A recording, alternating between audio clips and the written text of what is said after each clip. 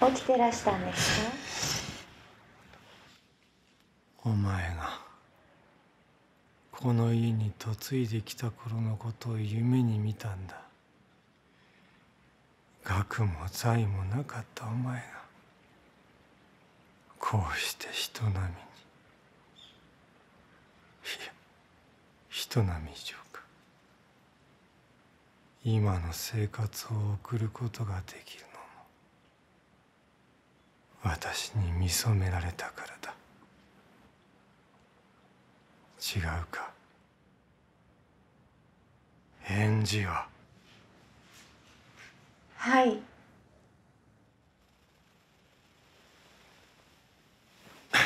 寝かし込んで。どこへ行くんだ？来たじゃないですか友人に会うって。私は会ったことあるか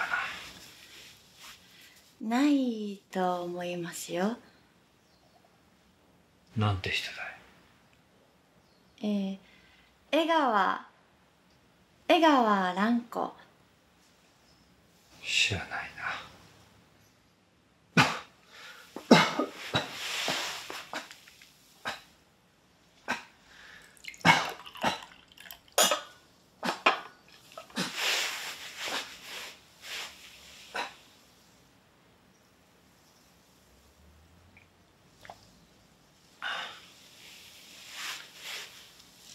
その蘭子さんか一度うちに招待してあげるといい。そうですね。機会があれば。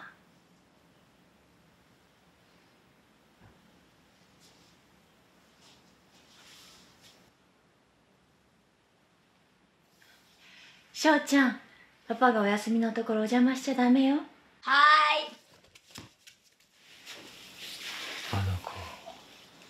片親の子供にするわけにはいかない。嫌ですよ縁起でもない。ご病気もきっと良くなりますよ。お前に言ってるんだ。お前が不義理を働いてこの家から出ていくことにならないよ 何を言ってるんですかそんなことそんなことになるかどうかはお前の心がけ次第。だ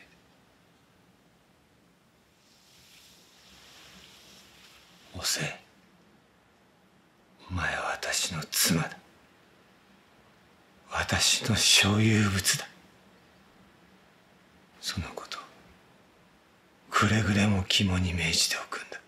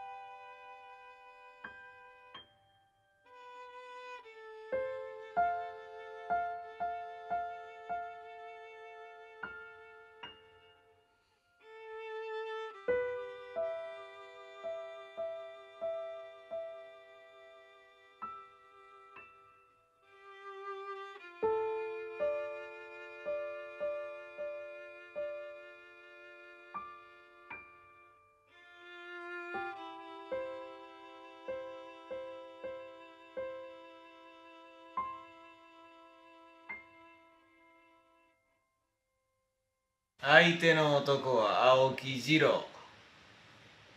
二役をやっとる男ですわ。二人は以前から。奥方があなたと結婚するよりも前からですな。面識はあったらしいですが。あなたとの結婚を機に交際が途切れとった。それがひょっこり再会してしもてやけぼっくいにひっちゅうわけですわどうします？北村さん。まだ調べますか？まあ続けるっちゅうんやったら上乗せしてもらいますが。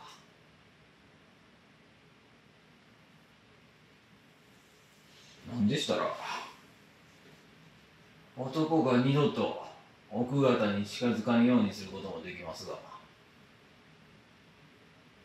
もういい。よくわかったよ。ありがとう。あいいですか。まあもしまたご用命の際はご連絡ください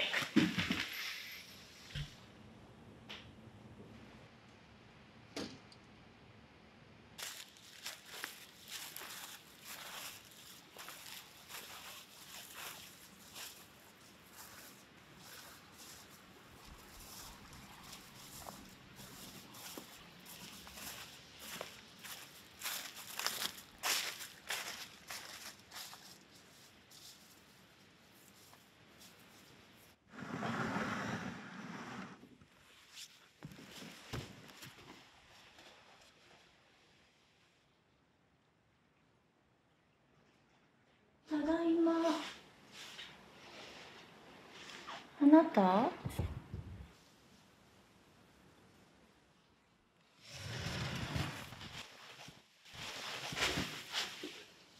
あなた驚かさないでくださいよ。青木次郎。知ってるか青木次郎？知らないはずはないよな。それは。私の目をごまかせると思ったかまともに外出もままならない病人だからと安心していたか。言ったはずだ。お前は私の妻であり私の所有物であると。私の目を盗んで男と密会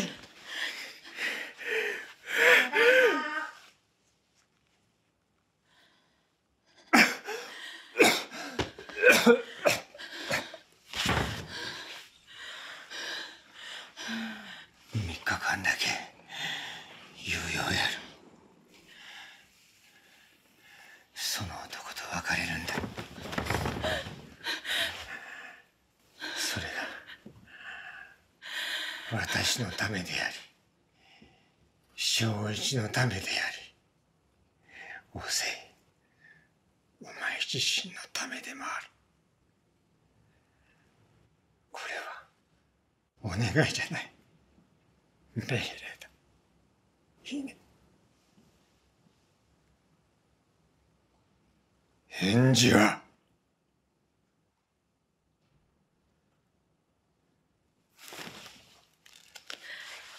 3日間だ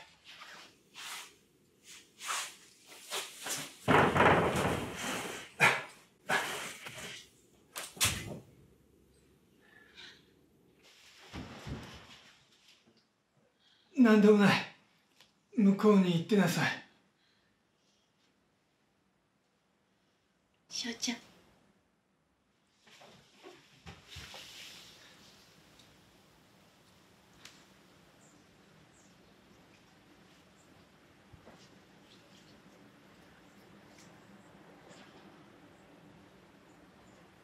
その鍵はその長持ちのえ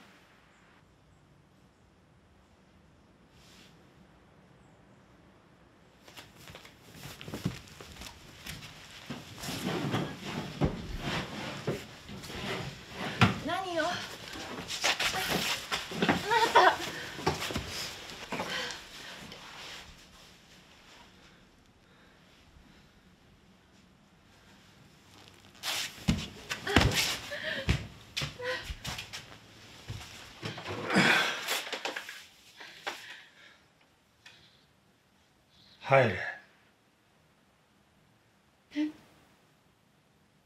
お前にはお仕置きが必要だ。この中で一人自分の過ちを心の底から反省するんだ。そんな私。入れ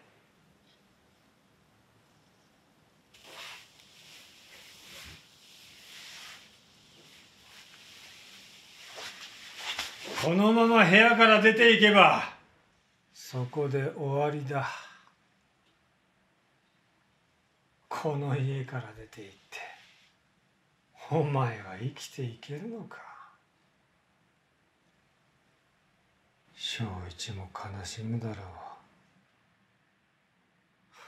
それにお前の両親が商売を続けていけるのもうちの北村家の援助があるからこそだろう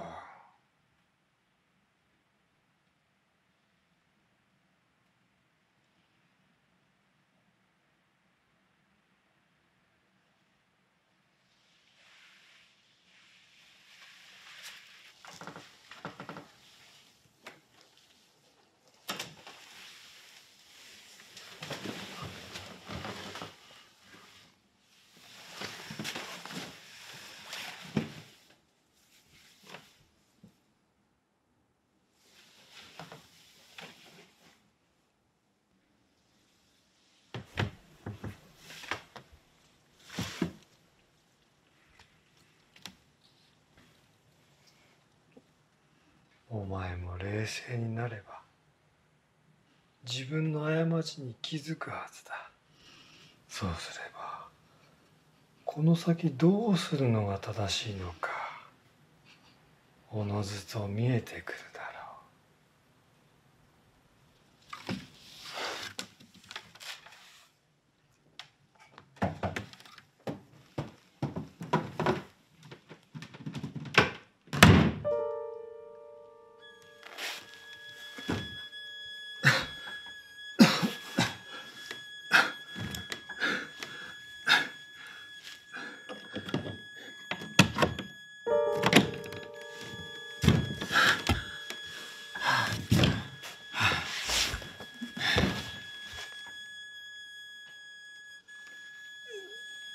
丈夫。何でもない。ママはちょっといたずらしたから。お仕置きだ。お前だっていたずらしたら反省するまで外に出ちゃいけないって。ママに言われるだろう。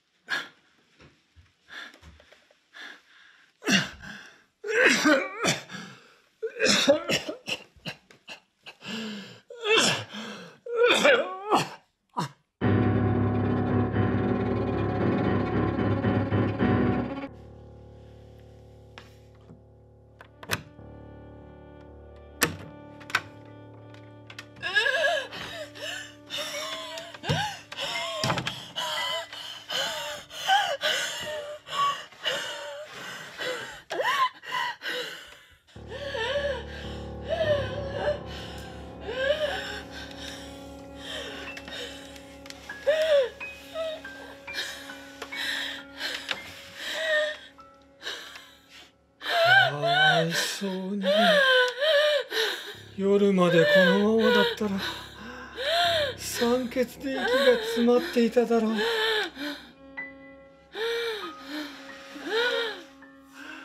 私も。もうお前をこんな目に遭わせたくない。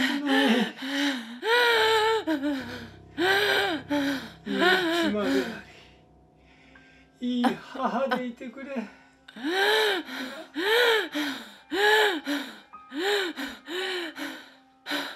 返事は。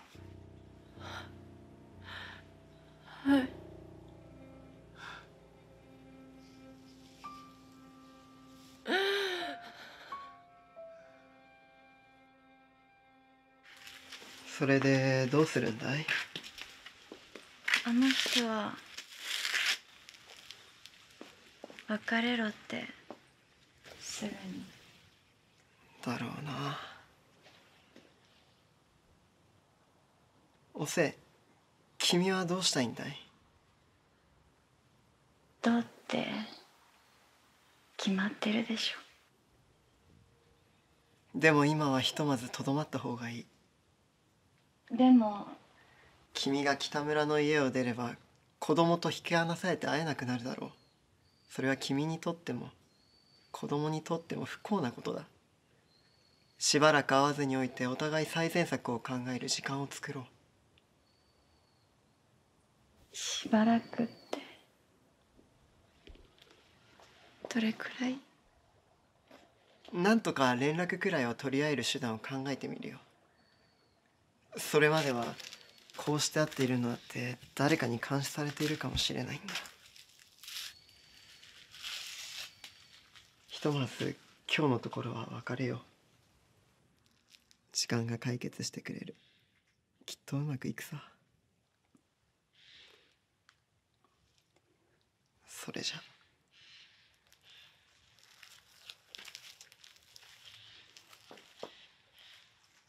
また。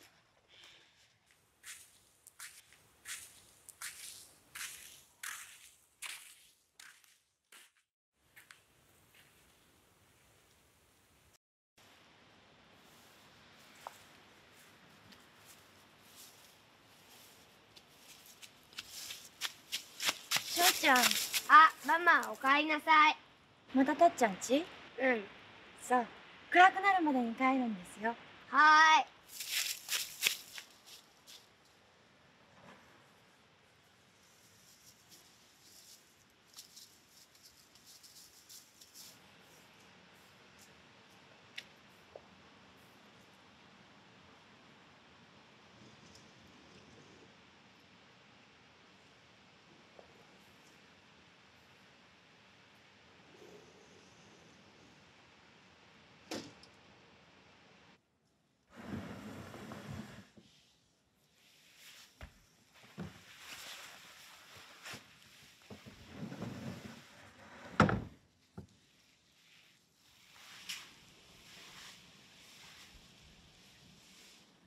帰ったか。別れてきたんだろう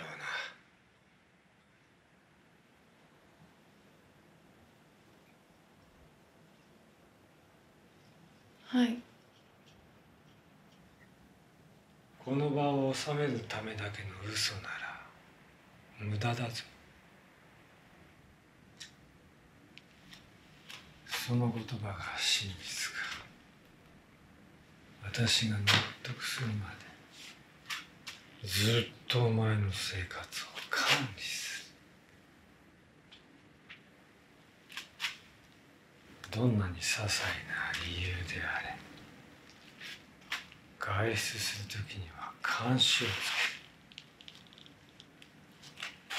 お前宛ての手紙もすべて私が検閲する。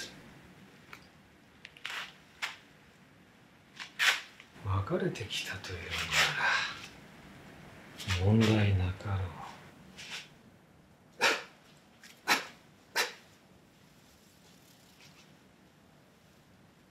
う。もしまた私の信頼を裏切るようなことがあればその時は言い訳する暇も与えず。にこの家から追い出す。お前の両親への援助も打ち切る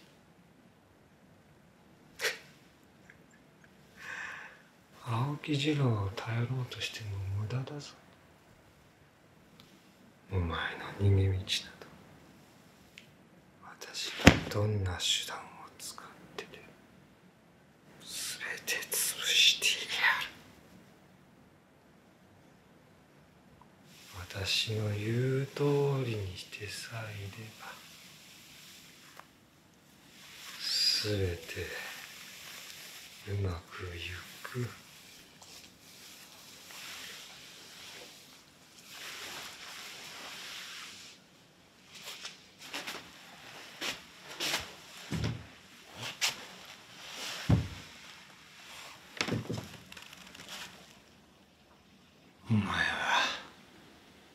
妻として夫であるこの私に誠心誠意尽くしていればそれでいいんだ。な。あ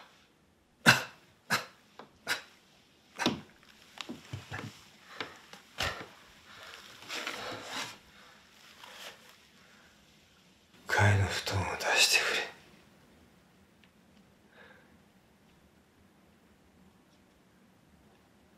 れおせ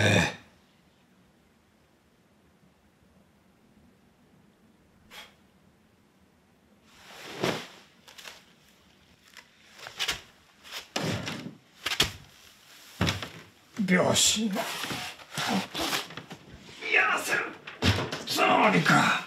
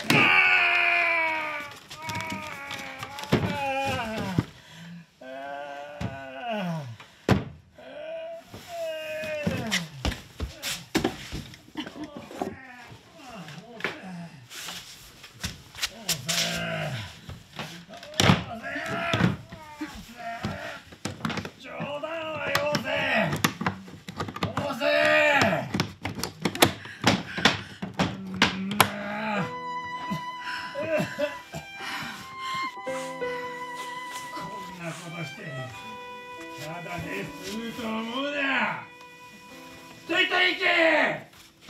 二度とこの家の敷居はまたがせんぞ。男と一緒に路頭に迷うがいい。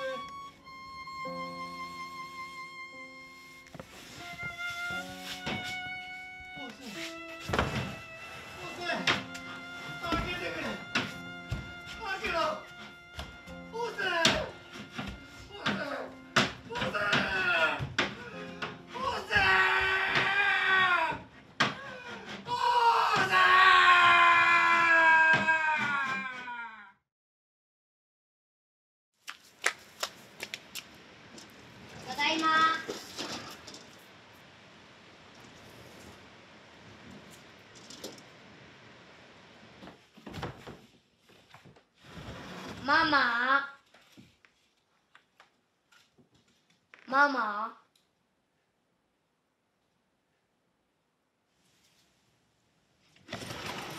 翔ちゃん？あママ。今パパお休み中だからお部屋に入ってお邪魔しちゃダメよ。うさあ手を洗ってきてお夕飯の支度のお手伝いをしてちょうだいな。んうん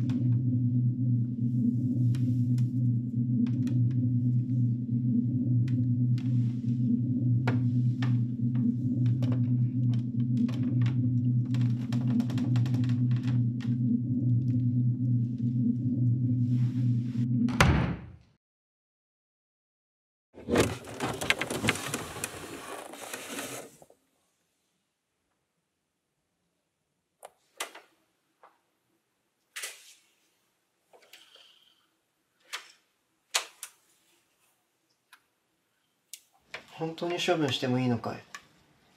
大事なものなんじゃもう随分と使い古したものだか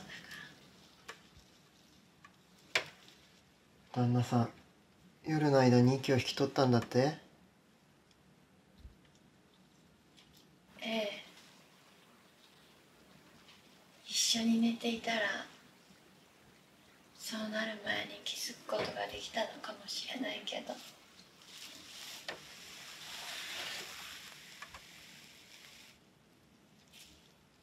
どうかて。いや別に。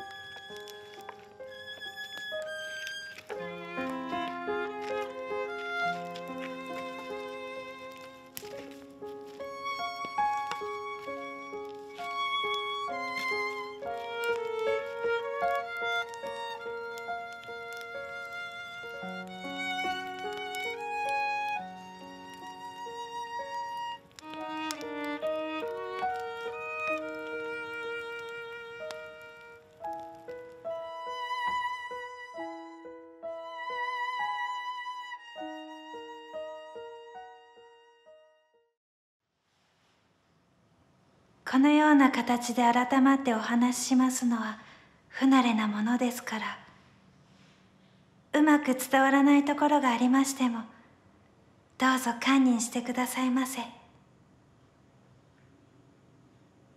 何から話し始めたものか。夫の角野との縁談が持ち上がりましたのはちょうど一年前の今頃でした。申すまでもなくお嫁入り前に角野とお互いに付き合っていたなんてそんなみだらなのではなく仲人が母を説きつけて母がまた私に言い聞かせてそれをおぼこ娘だった私にどう断ることができましょう。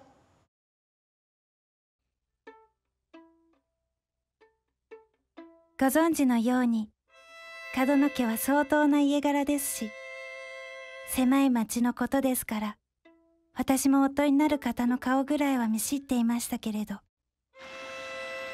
そのような名家のご子息であればきっと他に美しい娘さんとの交際もあるでしょうしもしそうでないにしましても私のような世間知らずの娘がどうまあ一生可愛がってもらえよう。そんな不安もありましたが。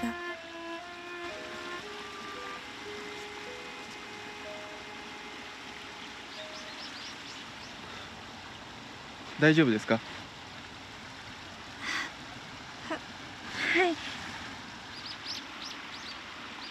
角野は人付き合いが苦手でご友人も少なく私との縁談にしましてからが私の方よりも角野本人を説き伏せるのに骨が折れたほどだったそうでございます。でもそういうたちの方に限って情が細やかなのではないか。私なら私一人を守ってすべての愛情を注ぎ尽くしてくださるのではないか。そんな風にも思ってみるのでございました。私にもいくらかうぬぼれもあったのでございますね。実際ご婚礼も無事に済んで夫婦としての生活が始まりますと角野はそれを私に優しくしてくださいました。私はただそれをありがたいことに思っていわば陶酔してしまって何の疑いを抱く余裕もなかったのでございますがこの角野が私を可愛がりすぎたということには後になって考えますと実に恐ろしい意味があったのでございます。恐ろしい意味と言いますと？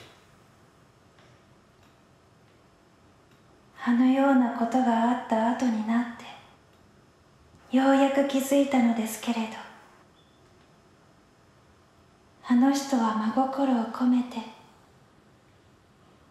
私を可愛がろうと努力していたに過ぎなかったのでございます。そう。あの人は努力していたのです。努力？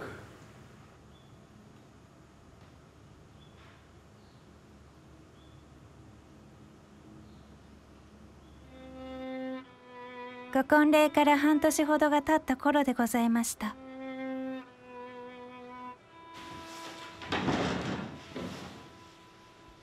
なた。あなた。うん。あ。どうかされまして。いや。別に。そうですか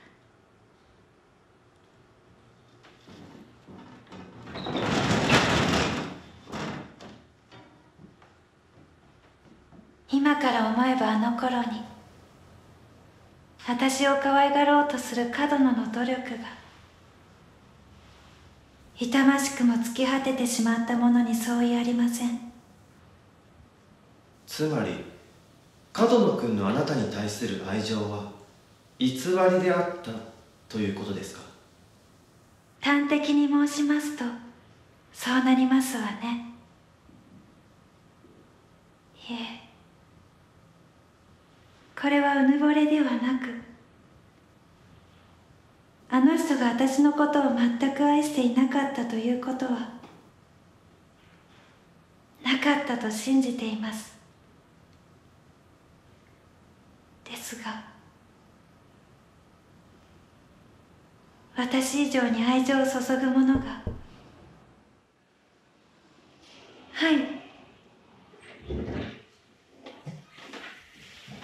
あの奥様何かあのそちらのお客様に電報が届きましたのでお急ぎのご用件では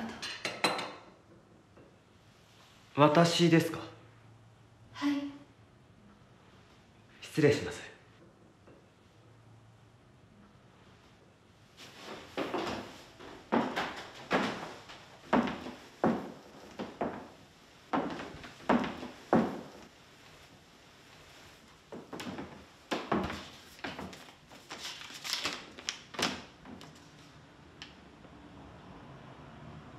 なるほどわかりました。ありがとう。失礼しました。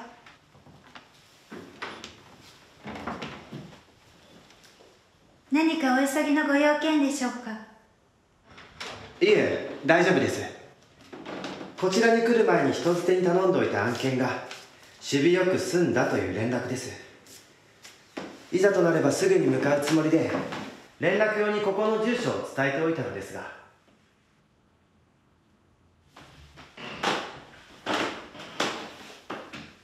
これで私が出向く必要はなくなりました。そうですか。それは何よりで？話の腰を折ってしまいましたね。申し訳ない。私の方からぜひ聞かせてほしいと頼んだのに。いえ差し支えなければ続きをお願いします。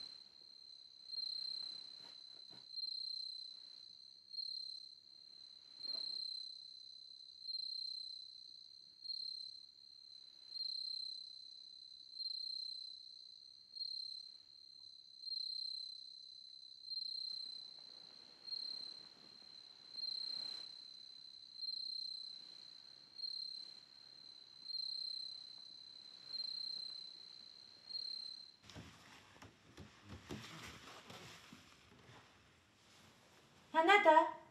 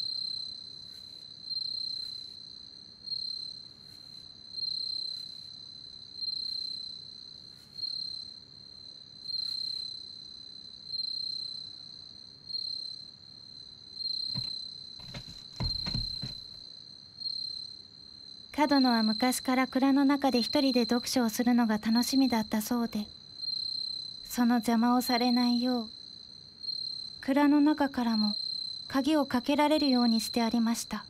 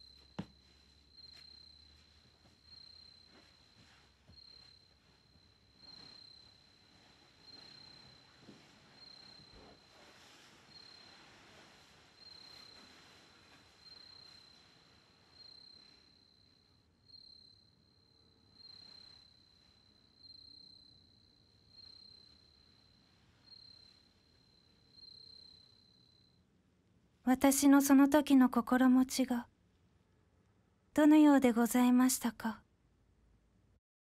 角野は私にとってたった一人の人でした。ですが角野にとっては私はたった一人の存在ではなかったのです。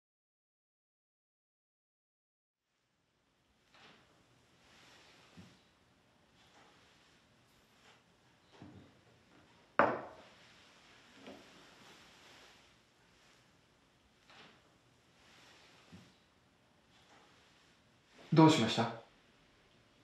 いえ。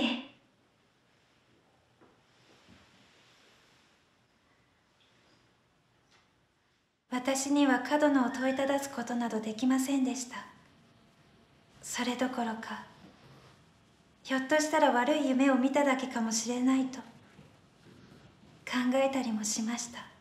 私は角野のことをまだ信頼していたんですね。ですからどうするにしてもまずは確たる証拠をつかんでからにすべきだと決心したのです。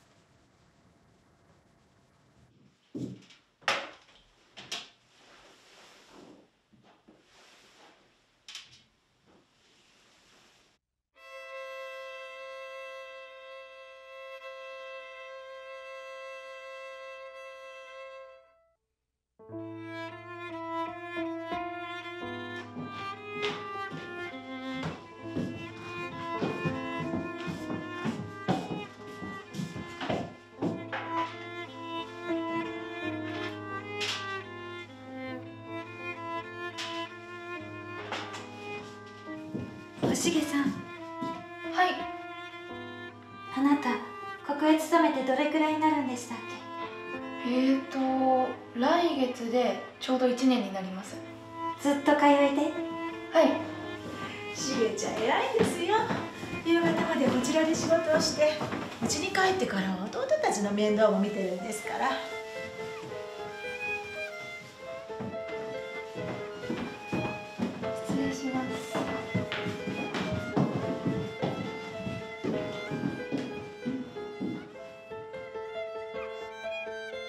が共謀して私に隠し事をしているんじゃないか。その頃の私はすっかり疑心暗鬼に陥っていたんですね。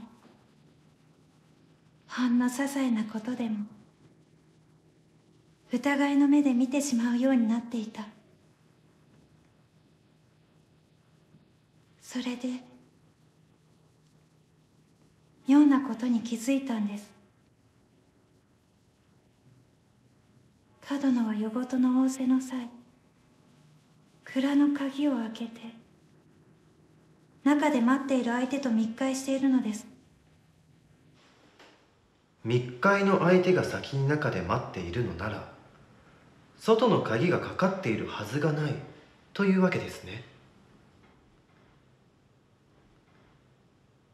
中にいる者には外から鍵をかけることはできませんから。そうです。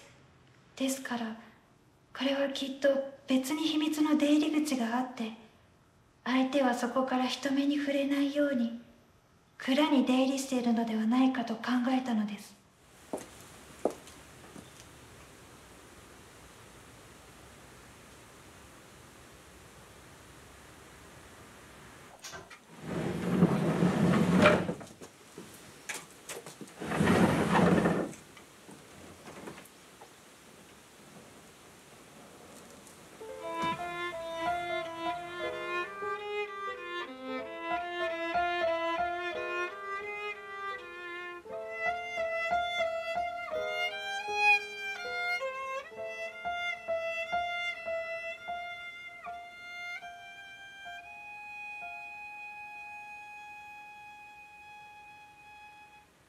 何をしているんです？ああのお掃除をしようかと。蔵の掃除は年末のお掃除の時だけで十分ですよ。わかりました。京子さん。はい。鍵を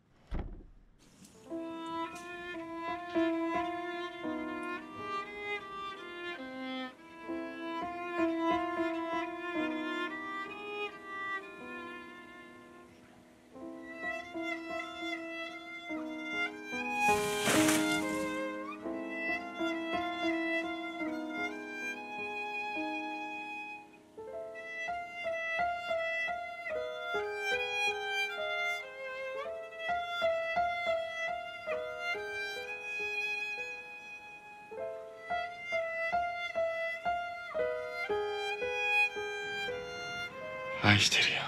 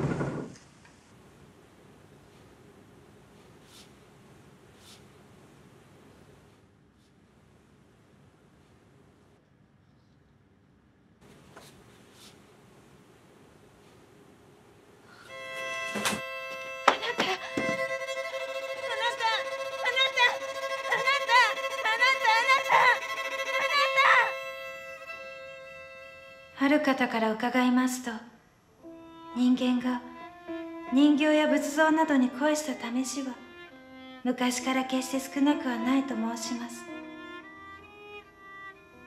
私の夫もそうしたものの一人だったのです。しかし彼はあなたを愛そうと努力した。人形よりもあなたを愛そうと。ですが。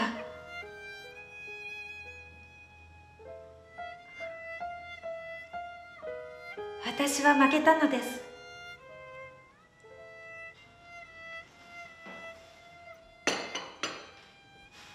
言いづらいこともあったでしょうがよく話してくださいましたね。私はしばらく海外にいたものですから角野君があなたと結婚したことすら知らなかったほどなんです。それだけに帰国してから彼の訃報を聞いて何があったのか詳しい顛末を聞かせていただければと。こうしてぶしつけながら伺った次第です。本当によく話してくださいました。旧友であるあなたには本当のことを知ってもらいたい。それはあの人も望んでいることだと思います。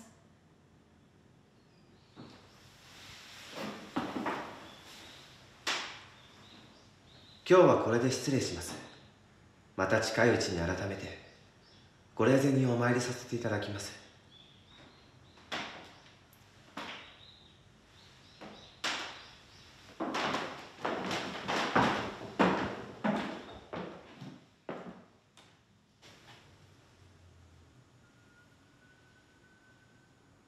一つお伺いしてもよろしいでしょうか？はい。角野君の遺体はあなたが蔵の中で発見したんですよね？はい。彼はなぜその晩だけ蔵の入り口に鍵をかけていなかったのでしょさあすぐに発見されるように鍵を開けてから自決したとか。なるほど。そうかもしれませんね